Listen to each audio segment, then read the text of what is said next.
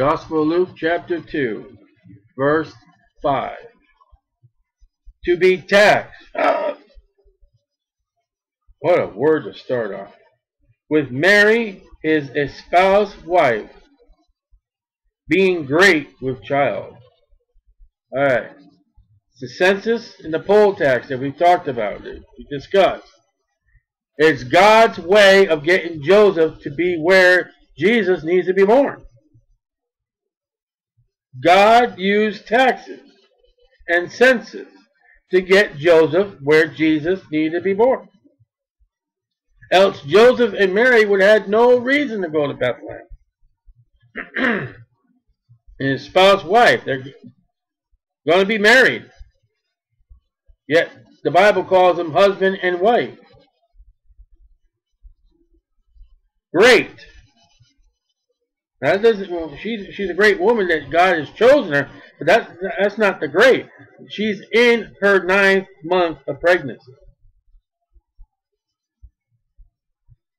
When they go into Bethlehem, she's in her ninth month of pregnancy, and the official Roman registry will list Mary, and she's pregnant, and Bethlehem. So when they say we know not where you came from, that is a crock. There were official records. Now let's the whole world to be taxed, verse 1. And all went to be taxed, verse 3. And Joseph, verse 4, went up from Galilee out of the city of Nazareth unto Judea, unto the city of David, which is called Bethlehem, because he was of the house and lineage of David, to be taxed with Mary, his espoused wife, being great with child. It was documented. It was recorded that this man went to Bethlehem. This man had a spouse wife. Wasn't his wife a spouse wife? She was pregnant. They gave X amount of money. He is of Bethlehem, of David. That all had to be recorded. I wonder where that information is today. I wonder if they found that. Because it will prove who the Messiah is. If that evidence will come up. A spouse. Now a spouse, look at Matthew 118. And throughout Luke, we're going to be going through the four Gospels. We're going to look at the places where it shows up. Now, not all four Gospels have all the stories. Some do. Some have. Some are only two Gospels. Some are only in, you know, three Gospels. John records a lot that's not in the Gospel. In Matthew 1:18. Now, the birth of Jesus Christ was on this wise. All right, we're picking up where we were in, in Luke 4, 2. They're in Bethlehem. They paid their tax. When, as his mo mother Mary was espoused to Joseph, there's that word, before they came together. No intercourse. No sexual relations. She was found with child of the Holy Ghost. When she came into Bethlehem, she was pregnant by the Holy Spirit, we're told by Gabriel. And Joseph, her husband, her husband. How bounding was espousement in the Old Testament? He was your husband. She was your wife. You didn't have no stag party. There was a marital feast, but it wasn't, you know, to get your last hula.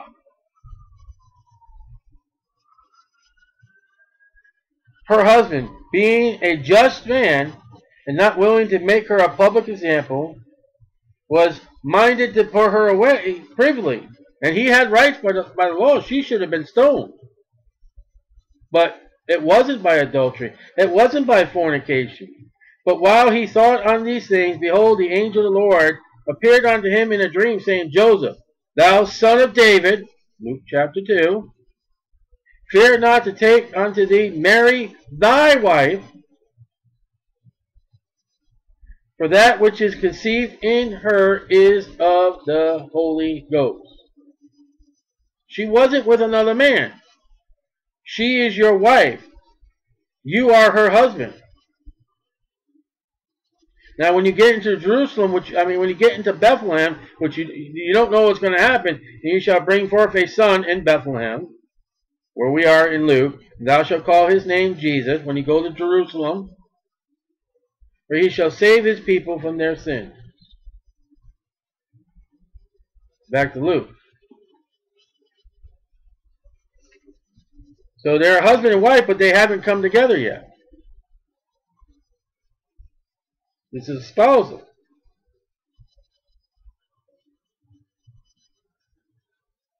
Verse 6.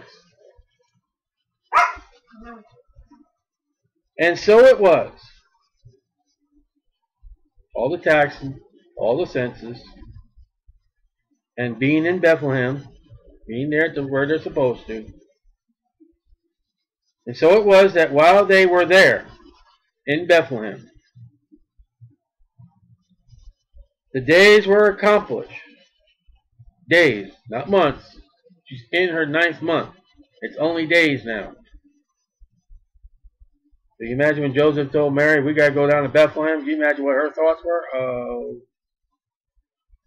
this baby could be born anyway, anytime along the way. No. The baby will wait till you get to Bethlehem and get all your business taken care of. The taxes I'm talking about. The days were accomplished that she should be delivered. So, again, she's in her ninth month of pregnancy. So, Luke 1 26.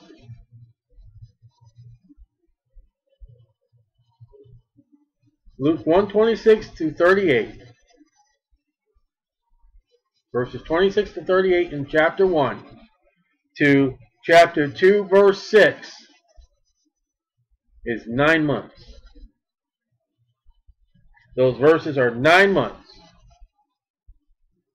John the Baptist is already six months old. Six months ago, John the Baptist was born. Six months later, chapter 2, verse number 6 and 7, Jesus is born. verse number 7. And she brought forth her firstborn son. Why would you need to say firstborn son if there wasn't others? Why didn't it say her only son? I mean, when it comes to Jesus, the Bible knows he was the only son because it says of God, God's only begotten son. The Holy Spirit knows what the word only means. Here it says firstborn son, so God implied there's going to be other sons and daughters. And wrapped him, Jesus, in swaddling clothes, and laid him, Jesus, in a manger, because there was no room for them in the inn. Alright, here we are.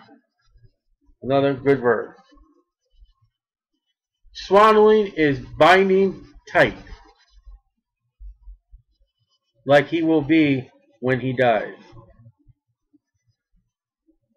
When he dies, they will wrap him in this type of swaddling clothes. But it'll be grave clothes. Lazarus would be an example how they wrap him. Manger is a trough or box for food for cattle. Grain.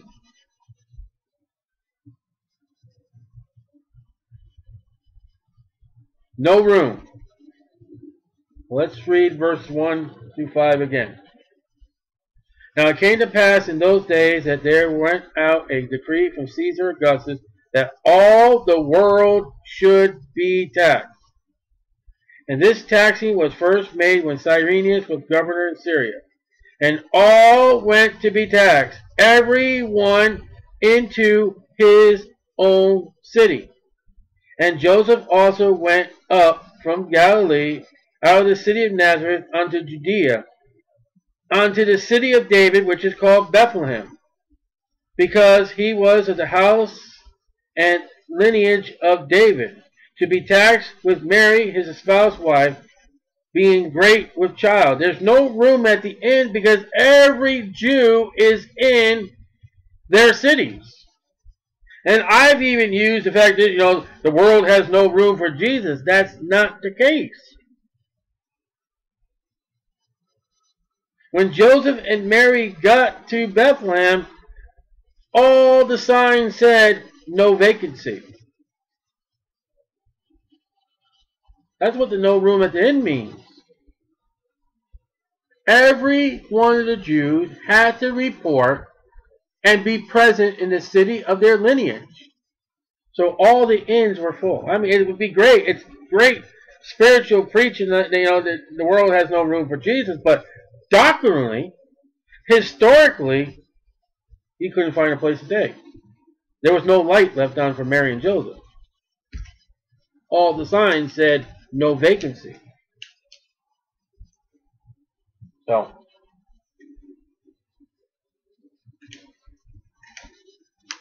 sometimes what's preached out of is not always true. Sometimes what men believe.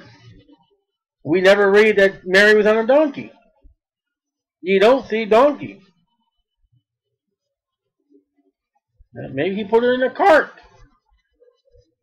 A wagon. So, now, it was not the keeper that rejected Jesus. For Jesus had not been born yet. How can you say the innkeeper rejected Jesus? Jesus was in the womb.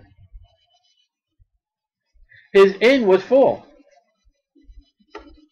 Don't you think if if he would have been given a revelation by Gabriel or Michael, there's a there's a man and a pregnant woman coming, sir. In that woman's womb is the, the Messiah. I would like you to give room and space, reserve your best room for them. Don't you think he would have done it?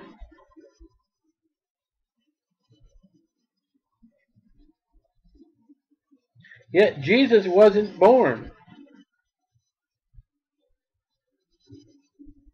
Look what it again. And they they brought forth her firstborn son and wrapped him in swaddling clothes and laid him in a manger. Where does it say it was a barn or cave?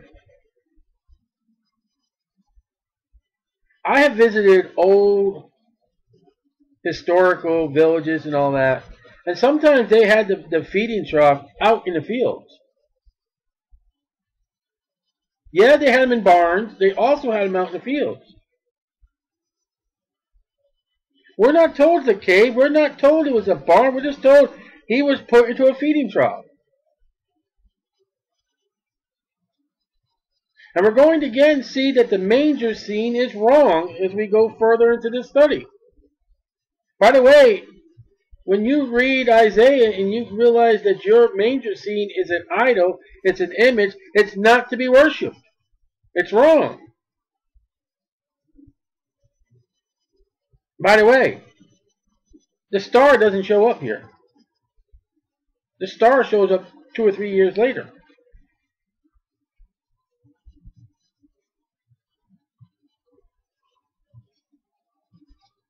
Okay? Now, 2 4. And Joseph also went up from Galilee out of the city of Nazareth unto Judea, unto the city of David, which is called Bethlehem, because he was of the house and lineage of David. Now here's the question.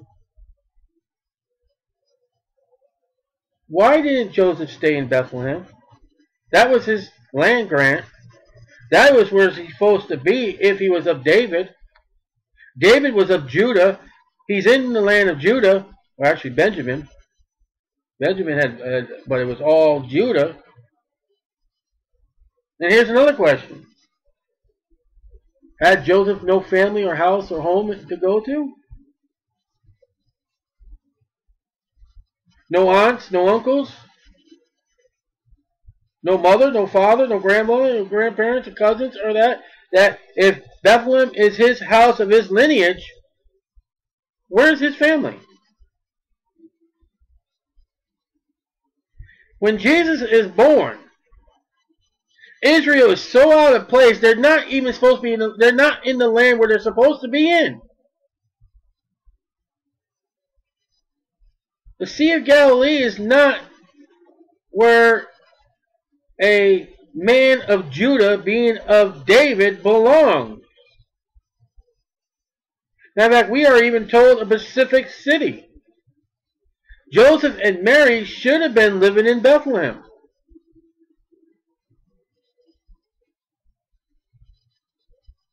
But they weren't.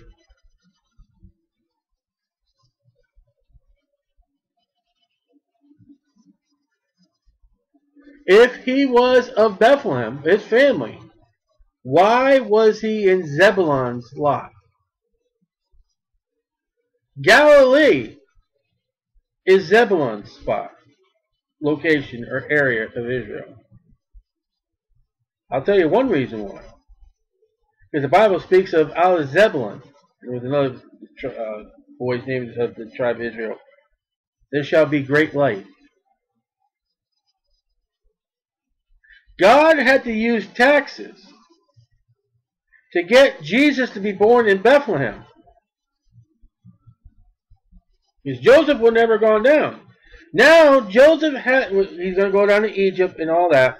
Eventually Joseph is going to make his way back to Galilee, back to Zebulun, where there's a prophecy spoken about Jesus coming out of Zebulun. Look at that.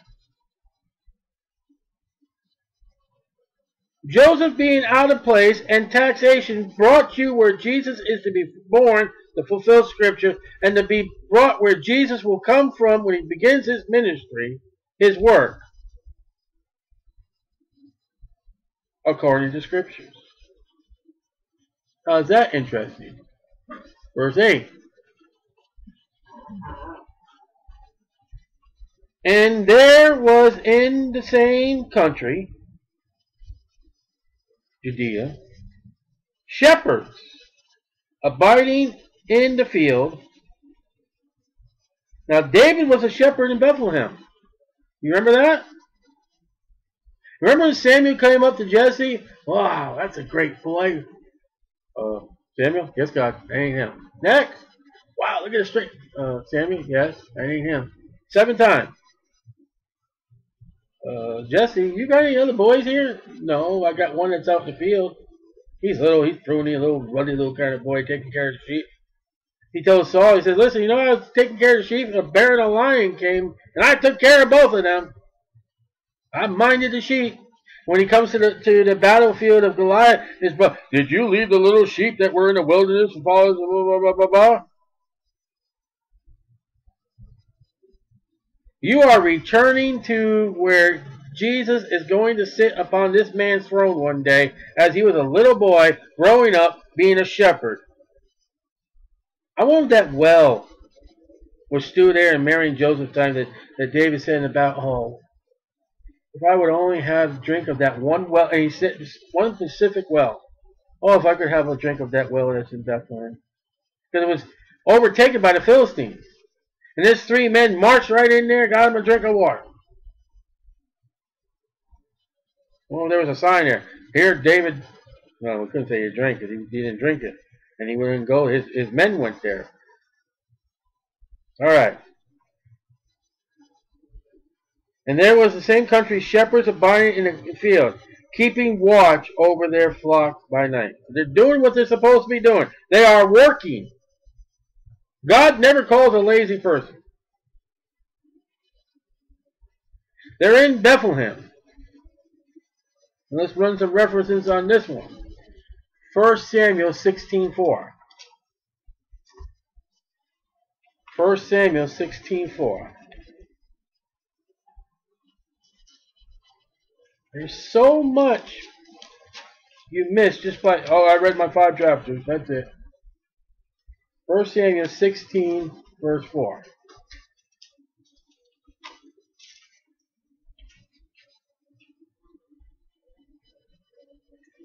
Verse 4.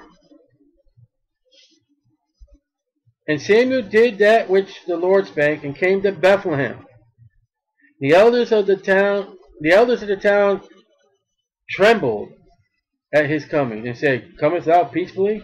He said, Peacefully I am come to sacrifice unto the Lord. Sanctify yourselves, come with me to sacrifice. And he sanctified Jesse and his sons, and called them to the sacrifice. It came to pass when they were come, they looked upon Eliab, and said, Surely the Lord's anointed is before him. But the Lord said unto Samuel, Look not upon his countenance, or on the height of his stature, because I have refused him. For the Lord seeth not as man seeth. For man looketh on the outward appearance, but the Lord looketh on the heart. And he goes through all the boys. Again, in verse 11, Samuel said unto Jesse, Are here all thy children? And he said, There remains yet the youngest. And behold, he keepeth the sheep.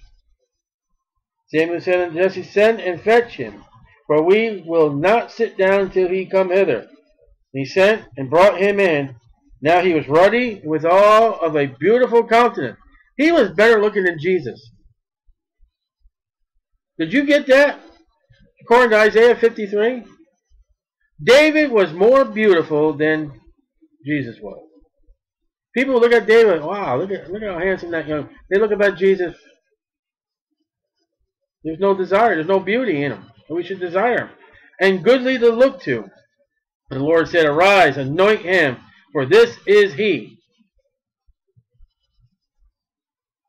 You ever ask yourself a question? Then Samuel took the horn of oil and anointed him in the midst of his brethren. And the Spirit of the Lord came upon David from that day forth. So Samuel rose up and went to Ramah. You ever ask yourself a question? You ever read the Bible and think, where Samuel just anointed David to be king of Israel, you wonder if that was the spot where the king of Israel was born?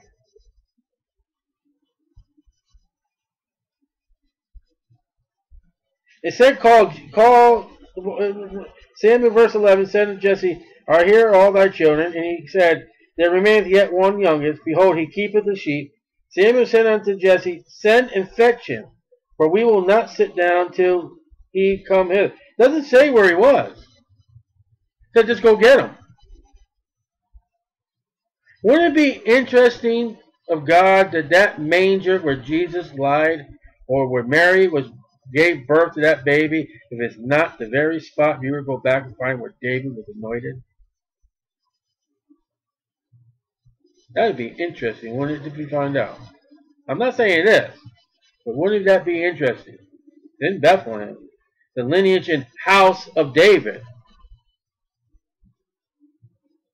That's something to think about. Look at 1 Peter 3 4. 1 Peter 3 4.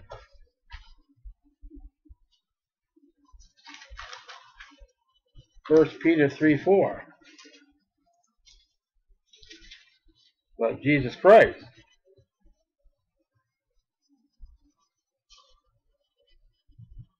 Second Peter. Uh, 5 4, excuse me. First Peter 5 4. Couple chapters, chapters ahead. 5 4.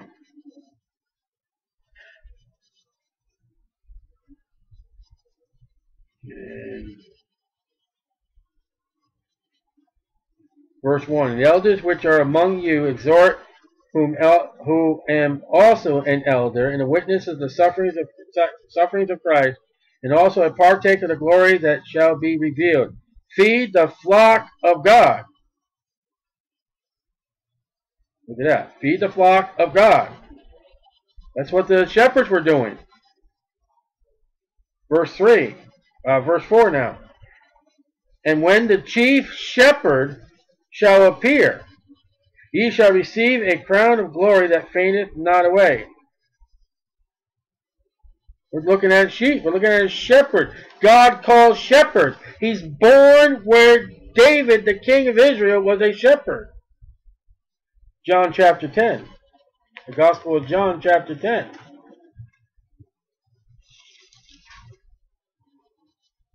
The Gospel of John chapter 10, verse 1.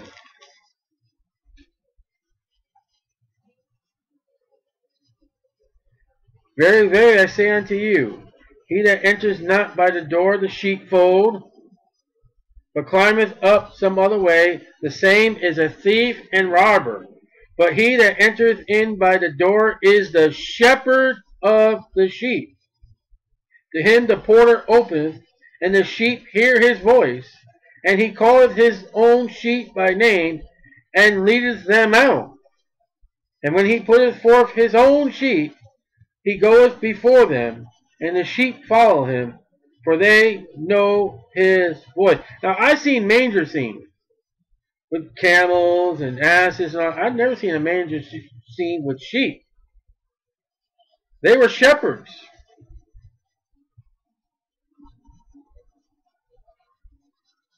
And when he putteth forth his own sheep, he goeth before them, and the sheep follow him, for they know his voice. And a stranger will they not follow, but will flee from him, for they know not the voice of strangers. This parable spake Jesus unto them, but they understood not what things they were which he spake unto them.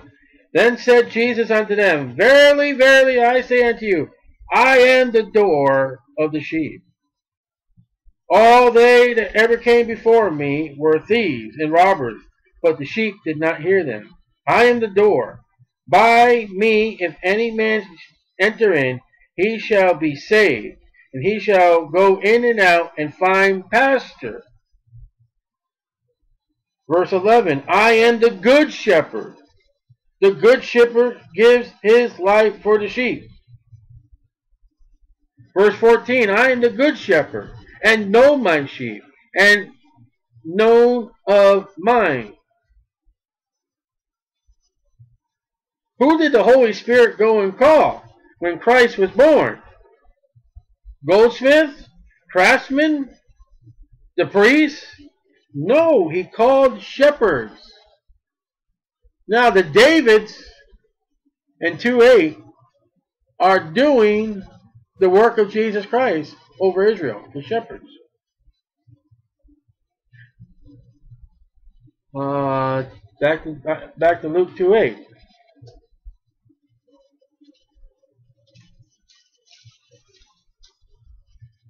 I would be, I, I would not be amazed if God if this is the spot where David was when he was a little boy growing up. If this is not the spot where he was anointed to be king. And there were in the same country shepherds abiding in the in the field, excuse me, keeping watch over their flock by night. You know what Jesus does with his shepherd, his sheep? He keeps watch. And if one goes away, he'll leave the 99 and go get that one. No sheep leaves the fold without the shepherd knowing. And it's not December 25th, for in Israel it would be too cold for the shepherds and their flocks. The shepherds are Jesus Christ, the type of, and David 4,000 years later. 1 Samuel 17:15, David the shepherd is born in Bethlehem. The time would be April to autumn. And we'll stop right there. We're looking at the birth of the Lord Jesus Christ. We'll pick up next with the, the shepherds. Look into the shepherds. An interesting fact that you will not find in a nativity scene.